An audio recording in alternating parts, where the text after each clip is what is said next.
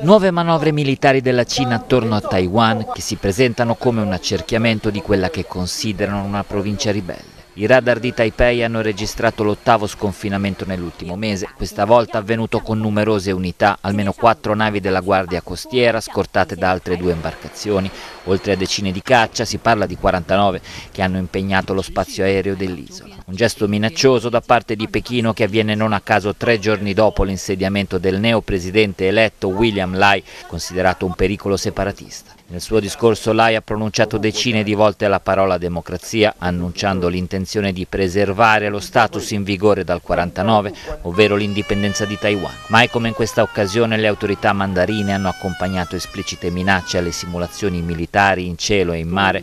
Il portavoce del Ministero degli Esteri cinese Wang Wenbin Nell'ultimo briefing è arrivato a sostenere che coloro che cercheranno l'indipendenza di Taiwan rimarranno con la testa rotta. I vertici militari hanno scelto una formula più concreta, per questo ancora più preoccupante. La nota del comando del teatro orientale dell'esercito popolare di liberazione, riportata dai media cinesi, parla di esercitazioni finalizzate a testare la capacità di presa del potere tramite attacchi congiunti e il controllo dei territori chiave, conquistare l'isola con la forza se necessario. La Cina, che alla fine del secolo scorso aveva scelto di pensarsi superpotenza, si è nel frattempo dotata di un'imponente macchina militare. Cerca il dominio del suo mare che passa dal controllo di Taiwan.